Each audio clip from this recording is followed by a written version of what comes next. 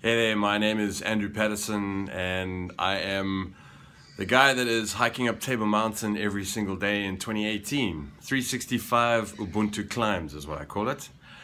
I'm passionate about giving back and something that I really feel strongly about is that, you know, it's not just something that needs to happen once.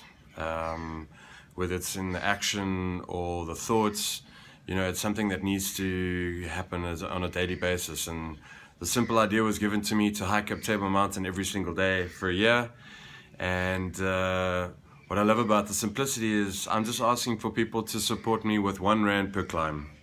I'm not trying to break the bank here. Obviously, for people who can afford more, that would be amazing. But uh, you know, I think we can all relate to you know sponsoring what was I like to call it investing, uh, one rand per climb. And um, I have three organizations which I will be uh, channeling all of the money to. And that is Habitat for Humanity to help build homes and empower um, those as fortunate than us to, to live in, a, in a, a nice neighborhood and not in shacks.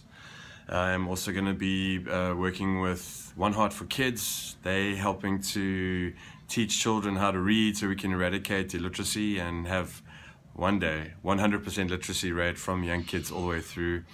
And then last but not least uh, the sunflower fund which um, you know was born out of a, a, terrible tragedy when a woman lost her son to leukemia.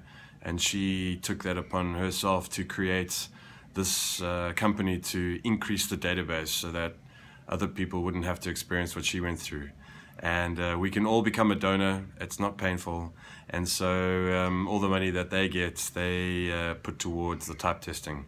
So those are the three organizations that will be the recipients of the money that I raise over the next 12 months and maybe even longer.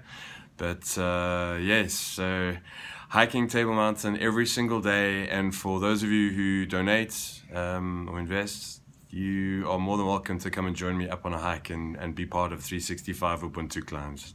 Cheers.